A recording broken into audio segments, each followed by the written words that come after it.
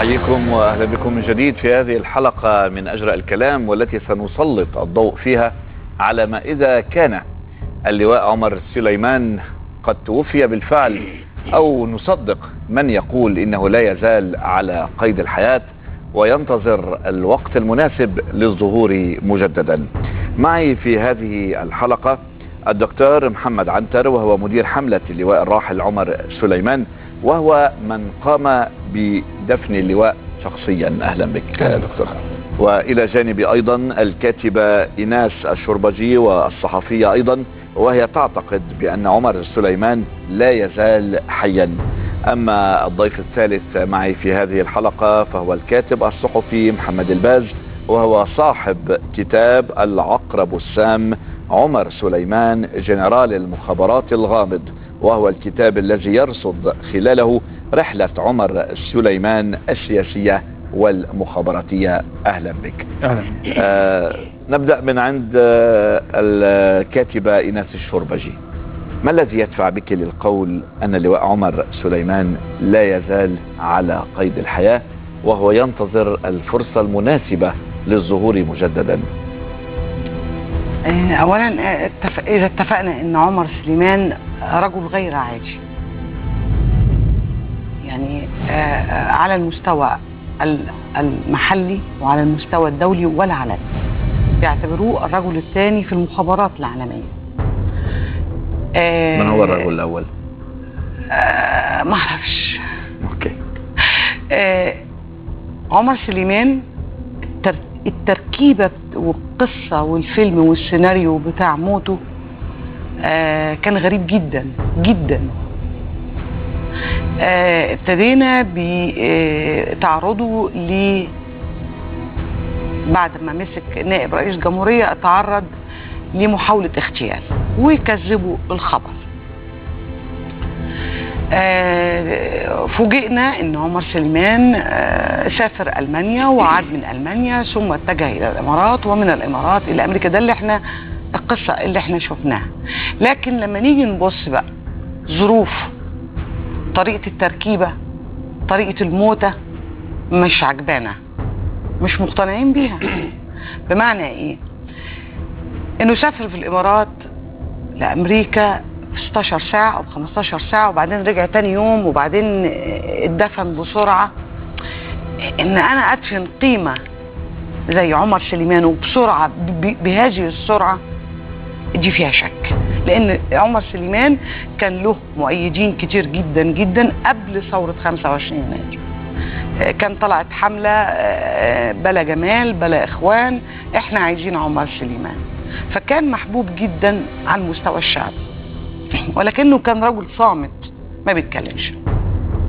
لما أنا قعدت اتفرج لقيت ان هو في في قناة فوكس الأمريكية المذيعة بتقول له ولما كان نائب رئيس جمهورية قالت له أنت حضرتك بتتمنى إنك يعني أو أو يعني تطمح إنك في رئاسة مصر؟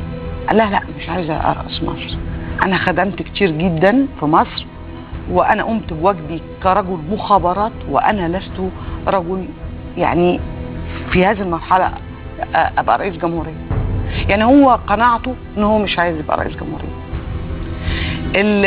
اولا هو هو هو هو عمر سليمان آه، صندوق مبهم ومثير جدا جدا جدا لأنه آه، على علم تام وكامل بعلاقات الإخوان من 2002 نعم. وعلاقات حماس وعلاقات فتح وهو كان ماسك ملف القضية الفلسطينية وملف القضية الفلسطينية الإسرائيلية والفصائل لما قعدوا وبدأ إن هم يقعدوا على ترابيزة ويتفاوضوا بعدم الاقتتال وأجبرهم على حاجات وتم فعلا عملها قضية شاليت والشاليت والألف أسير اللي حل مشكلة. تبادل نعم يعني كان راجل راجل مش يعني مش رئيس جمهورية راجل أقوى. لأنه ده رجل مسؤول عن أمن دولة. بس, بس لحد دلوقتي بعد ما قلت لنا آه ليه يعني إيه الدليل على إنه لا يزال على قيد الحياة كما تقولون؟ طيب أنا اتفرجت من سبع شهور أو ست شهور على قناة عربية ولو ممكن أقول لك اسمها عادي عادي. قناة الغد الإماراتية. نعم. كانت في مذيعة. عاملة حلقة بالظبط أيوة. كده بس أنا مش فاكرة اسمها ملك إيه. آه، ملك دي كانت عاملة حلقة على دور المخابرات المصرية في تأمين الأمن القومي المصري وكانت تستضيف في هذه الحلقة إحدى لواءات المخابرات. وبيتكلموا عادي على التأمين و و والى ذلك وفي نص الحلقة راحت قايلة طب أنت مقتنع إن عمر سليمان عايش ولا ميت؟ الراجل اتخض من السؤال ارتبك ارتباك شديد جدا جدا جدا وقال لها أنا أرفض أرد على هذا السؤال. قال لها وبتسالي لي هو مش في مجاله في الحلقة. قالت له أنا عندي ما يثبت بالوثائق إنه عايش. فقال لها أنا ما أتكلمش في الموضوع ده. بعد كده جات لي أيام بعدها بفترة بسيطة جدا البنت دي أو المذيعة ديت اتحولت لتحقيق من جهة أمنية. آه واللواء بردك حقق معاه ومنع من الظهور آه على المستوى الإعلامي. والقناة فصلتها. ومفيش ولا قناة عايزة تشغلها. واحتمال تكون متفقة مع قناة حاليا عربية.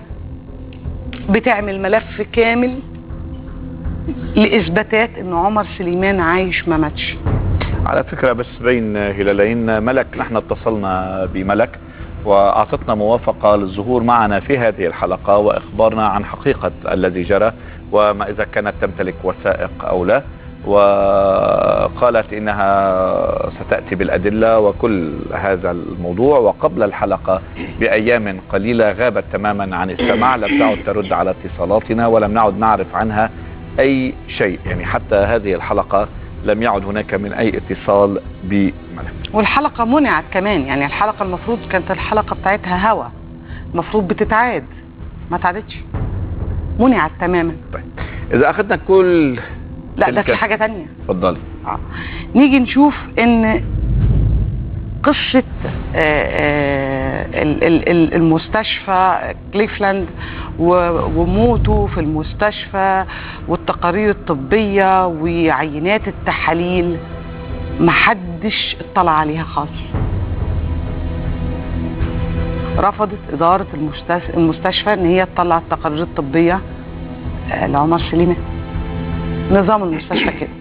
هي أصدرت قالت إن آه، حدث موت سياسي بارز.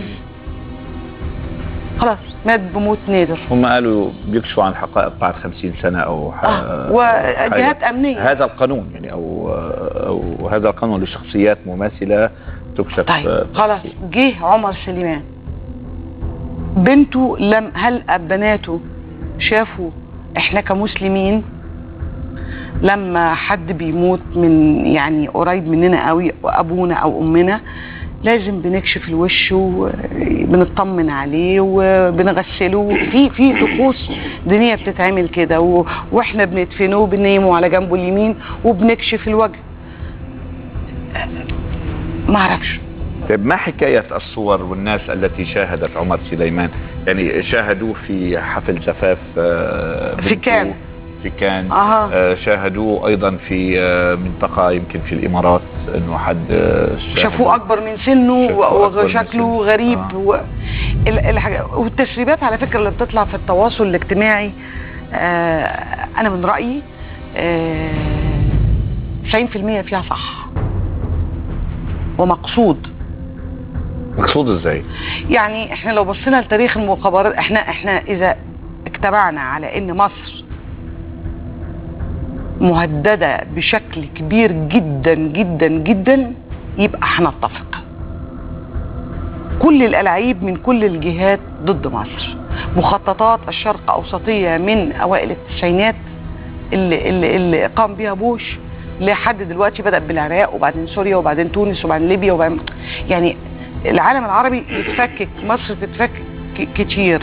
مصر تتفكك إزاي دي يعني هتتفكك فتنة إضراب عصيان مظاهرات يعني طيب يعني لنفترض ونسلم جدلا أن عمر سليمان هو لا يزال على قيد الحياة وهو تم إخفاؤه بأي هدف زي ما اللواء حسام خير الله مات مرتين وأهله استلموا الجثة وصلوا عليه ودفنوه وخدوا العزاء فيه والراجل ربنا يديله الصحة وطولة العمر. لطيف بكربون الأسود. وبالظبط كده. ومصر المخابرات المصرية من أرقى المخابرات اللي في العالم. طيب، وتاريخها الهدف؟ بيشهد تاريخها بيشهد ده هدف آه، أمن يعني- قومي يا فندم. هدف أمن دولة. عمر سليمان لم يسعى أن يكون رئيسا للجمهورية. الرجل هذا الرجل كان الدرع الواقي لأمن مصر. بعد الفاصل الدكتور محمد عنتر مدير حملة اللواء الراحل عمر سليمان. هو من قام بدفن اللواء يعني بيده.